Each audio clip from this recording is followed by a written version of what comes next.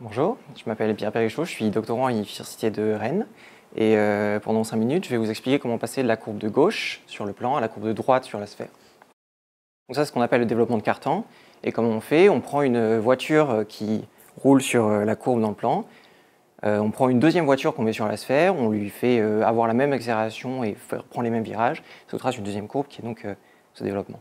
Donc moi, je m'intéresse à des courbes qui sont beaucoup plus irrégulières. Typiquement, ça va être des réalisations du mouvement brownien.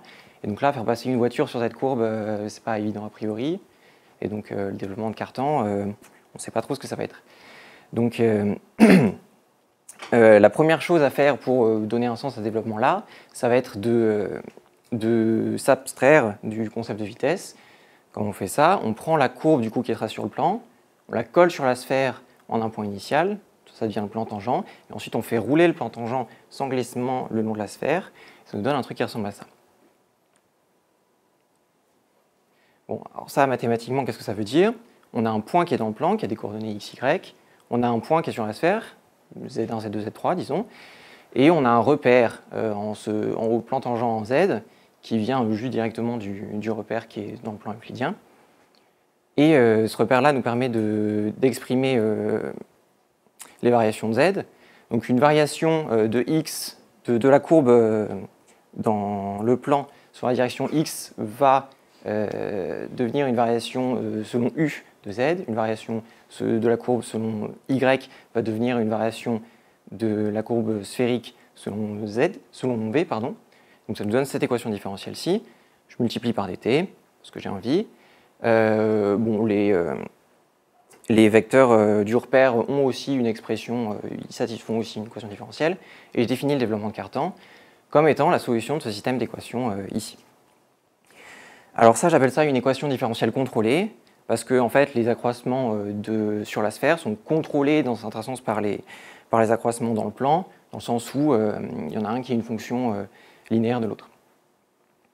Maintenant qu'on a fait ça, ça marche bien pour des fonctions régulières, et donc si j'ai une fonction irrégulière, on a envie de dire, je prends une suite d'approximations régulières de ma courbe irrégulière, et je définis le développement de la limite comme étant la limite des développements. Et ça, ça ne marche pas pour le genre de raison suivante. Donc on a euh, ici une suite de courbes bleues qui tendent, disons, uniformément euh, dans le plan tangent vers la courbe rouge. Par contre, le développement euh, converge a priori vers une courbe qui a l'air très différente. comment on explique ce phénomène-là? Moi, j'ai envie de le voir comme, comme un avatar de la formule de Gauss-Bonnet, qui nous dit que si on a un domaine sur la sphère qui est bordé par une courbe qui est le développement de quelque chose, quand nous, on a fait notre développement avec euh, le plan tangent, en fait, le plan, il a tourné, euh, une fois qu'on a fait le tour complet, il a tourné d'un angle qui est en fait précisément égal à l'aire de la, surface en question, de la surface euh, bornée. Donc ça nous donne envie peut-être de regarder les aires qui sont qui sont qui, qui, s'expriment dans ce problème. moi, l'aire qui m'intéresse, par exemple, ça va être celle-là. donc je dis que je prends un point sur la courbe, je regarde l'aire qui est délimitée par cette courbe. J'appelle ça l'air de Lévy, c'est une expression, bon, très bien. Euh, je vais regarder ce qui se passe sur l'exemple précédent. Donc là, j'ai écrit euh, sur le plan en bas, j'ai dessiné la courbe. Euh, en, côte, j'ai mis moins l'air. et quand on regarde ce, qui se passe quand les, les, associations deviennent de plus en plus grandes, en fait, même en passant à la limite, on va garder de l'air infinitésimal, on va garder, ça va continuer d'accumuler. Et donc, on a envie de dire, la courbe violette, euh, pas celle qui est en bas, mais celle qui est euh, comme ça, en fait, euh, non seulement elle va tout droit, mais en plus, elle a de l'information qui est qu'elle a fait des petites boucles infinitésimales, qu'elle a engrangé l'air dans un certain sens. Et on a envie de dire que cette courbe munie de cet air, son développement, c'est plutôt pardon, la, courbe, la courbe violette sur la sphère. Et donc je définis un chemin rugueux comme étant la courbe qui est ce qu'elle est, et euh, son aire associé.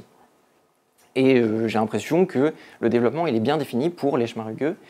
Et ça, c'est vrai, c'est-à-dire que le développement de carton il est continu euh, au, sens, au sens des chemins rugueux. Donc, si j'ai un, dans le sens que j'ai écrit là, une courbe munie de son aire définit bien un, développement et je peux, je peux définir du coup le développement d'une limite comme étant la limite des développements. Alors maintenant, pour définir le développement du mouvement brownien comme je vous l'ai annoncé au début, il me faut une notion d'aire de Lévy pour les mouvements browniens.